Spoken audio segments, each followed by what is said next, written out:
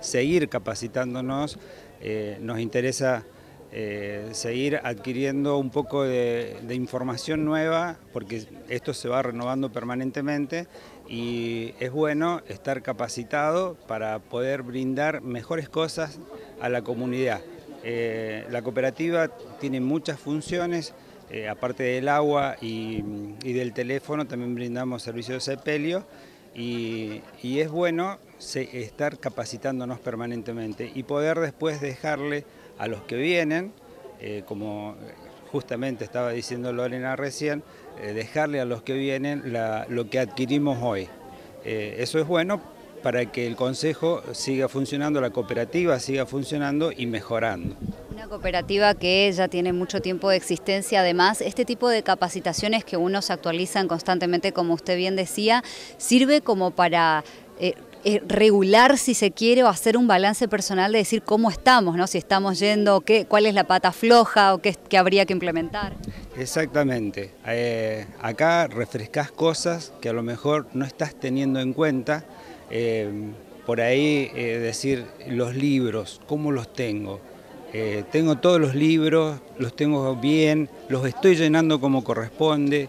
Eh, otra de las cosas que hacía hincapié recién la, doctora Domínguez, el tema del síndico, la función del síndico, eh, las atribuciones que tiene la comisión, la asamblea, todas esas cosas, está bueno ir refrescándolas y por ahí anoticiándote de cosas que por ejemplo, cuando empiezan a preguntar a los otros colegas de las otras cooperativas, problemas que ellos han tenido y que vos eh, los tenés y no te das cuenta.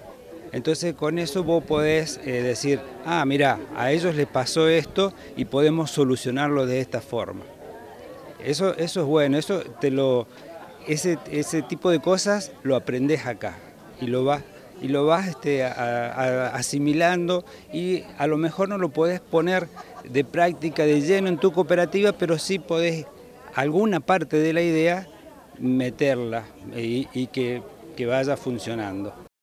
Bueno, eh, sí, es importante, o sea, sentimos eh, cierta curiosidad sobre esto, porque la verdad que es un paso lindo, eh, es muy necesario esto, así que bueno, empezaremos a, con los pasos que, tenemos que hacer, ¿no es cierto?, para seguir adelante con este merendero. Un merendero que sigue creciendo constantemente, ¿no? Sí, actualmente, bueno, eh, buenos días primero. Muchísimas gracias a la cooperativa por la invitación. Eh, y bueno, siempre están, así que muy agradecido.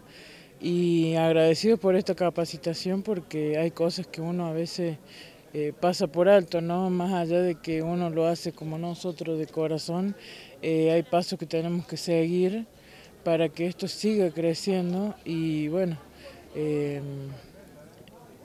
más fuerza. Darle, un poco más de impulso y, bueno, sumar gente y sumar cosas para, el bien común de qué es lo que buscamos, ¿no?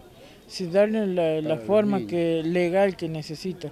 Este, así que para nosotros es, es muy importante y lo, estamos aprovechando al máximo.